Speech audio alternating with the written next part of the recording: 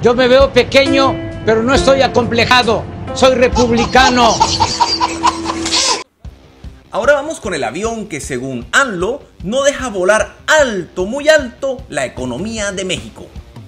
El actual avión presidencial conocido como José María Morelos y Pavón fue adquirido en noviembre del 2012 por la antigua administración priista. Su costo fue de 218 millones 700 mil dólares. De acuerdo con el gobierno de Peña Nieto, es desde su compra una papa caliente para el gobierno que lo compró y para el de ANLO que lo quiere vender. El 10 de febrero, dicho avión emprendió su primer vuelo y fue para conmemorar el Día de la Fuerza Aérea Mexicana en Hermosillo, Sonora. Causó muchas críticas, pero los mexicanos en ese momento lo veían como un lujo que se podían dar en medio de tantas dificultades. El TP-01 realizó 214 operaciones volando 600 mil kilómetros. El último viaje en esta encomienda fue del entonces presidente Peña Nieto a la cumbre G20 que se realizó en Buenos Aires, Argentina. El 2 de diciembre del 2018, Andrés Manuel López Obrador anunció que el 3 de diciembre el avión se enviaría a San Bernardino, California, para su venta. Que él y su equipo viajarían en avión comercial, es más, que viajarían en coach, que no más despilfarro del erario público, según él. En California, permaneció el avión en un hangar privado por más de 12 meses, periodo en el cual se identificaron 42 clientes potenciales a nivel mundial y se desembolsaron cerca de 30 millones de pesos mexicanos por almacenaje y mantenimiento. Ninguna, ninguna de las ofertas de compra prosperó. En el mes de febrero de este año, el presidente mexicano anunció que se rifaría el avión presidencial mediante la Lotería Nacional. Muchos pensaban que era un chiste, pero no.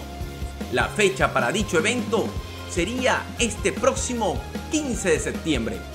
Las críticas sobre el presidente volvieron a llover y dijeron que se notaba más desesperado que nunca y revanchista, que en definitiva ahorrador del dinero de los mexicanos. Mm. ¿Es que acaso no se puede ahorrar en otra cosa, señor presidente? Le preguntaban muchos en las redes sociales.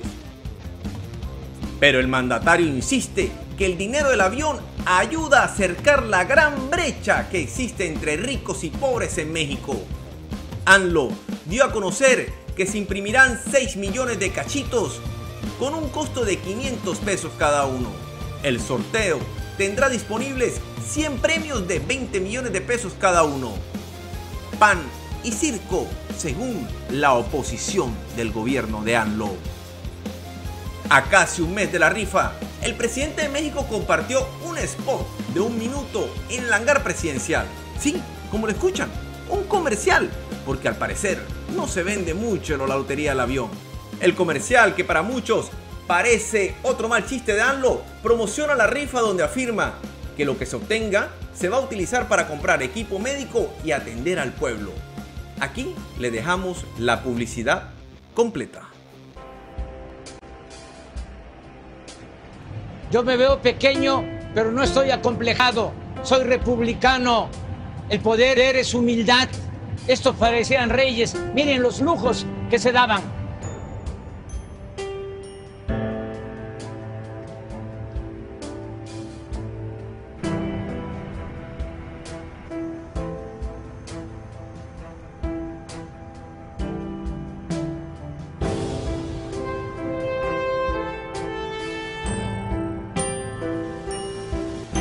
Habiendo tanta pobreza, esto es un insulto.